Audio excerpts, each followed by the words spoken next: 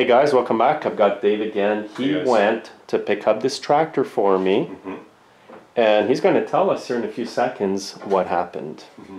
So tell us what happened, Dave. Well, I just got back. Um, Don had sent me out here to try and diagnose an issue with this lawn tractor not starting. Mm-hmm. Now, I have a little bit of experience with lawn tractors. I'm still, you know, Don has 15 here. Yeah, you're more into the chainsaws. That's more yeah, your expertise, small eh? engines, but yeah. I'm like I'm trying to expand my Yeah. horizons here Yeah. a little bit, and um, so I think it's got a couple issues. Uh, the, the starter, but um, what issue did you have? Like, right, I feel kind of dumb asking this actually. uh, don't worry. This is a uh, this tractor has a hydrostatic transmission, so Yeah. um, not your your old school traditional gearbox, right? You've got uh, Yeah. you've got the the brake here, and the question is, I, I know how to operate the brake, the parking brake, right? With Yeah. The, with the lever here, but this tractor is hard to push, It is. and we I was trying to push it onto the trailer. I had the other guy helping me.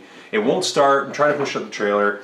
Because I remember, sorry, I'm just going to interject Yeah, here, fine, but yeah. you sent a text. You were looking. Yeah. You were asking me where's the neutral on this machine. Right, and because it's a hydrostatic transmission, I understand it doesn't have your normal your normal neutral, right? So Yeah, yeah. is there a way to quickly disconnect the transmission from the drive line to make it easier to push around if you're having an issue? Absolutely, Dave. Okay, where, where? This is so simple, but you know, no question's a dumb question, Dave. Even if you give me a bit of a hard time about it. Yeah. okay, Dave, here's the simple answer to this. Okay. Come to the back. Oh, it's gonna I'll be it's gonna be right in plain sight, isn't it? It is. Oh, Now, if you had read the, if you read the manual when you buy a tractor, you would know this. okay. Well, I didn't read have the time in the But guy's driveway. okay. Okay. It's okay, All Dave. right. Yeah. So all you have to do is pull on the pin. It unlocks Oh, look. the hydrostatic transmission. That's me right there. yeah, that was you. That's here, me here. There. But that's That's me there trying to push the. Okay. You see that? Well, this one shows you're riding it with the pin pushed in. Yeah. Pin pushed out, you can uh, easily move it. Just take a shot here, Dave. I'm just going to move it quite easily. Okay, hold on. So Yeah. got it. When the pin is pulled like this, Dave, if Yep. you sit on the tractor and try to drive off, Right. Nothing's going to happen. Okay, it'll still start though? Yeah, Okay. you're kind of like putting it in neutral. Okay. So watch how easy it is to push it out. Jeez. And you don't hear that transmission noise. So Okay. If I push it back in, Yep. So it still goes, but there's resistance. yeah, Okay. you see that? Yep. So that's all there is to it. Sometimes uh, this pin might be under this seat. Okay. You know, on older tractors, it's under the seat. You just move the pin. Okay. I've seen the pin on other tractors be right here. Okay. Okay, so if you buy a new machine, just look at the owner's manual. It's going to tell you where that is. Okay. Um, but if you're not sure, if you don't have the manual, just look around for a pin. Because if you have a hydrostatic tractor, Mhm. there's no neutral setting anywhere.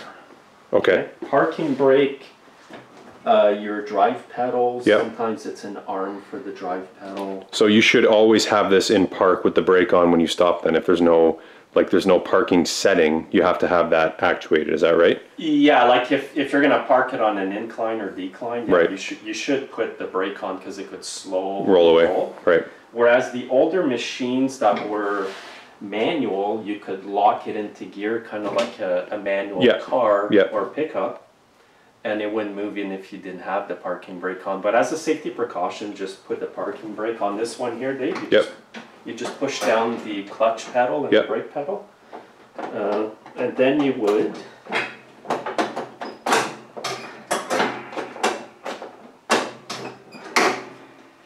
I think this is messed up.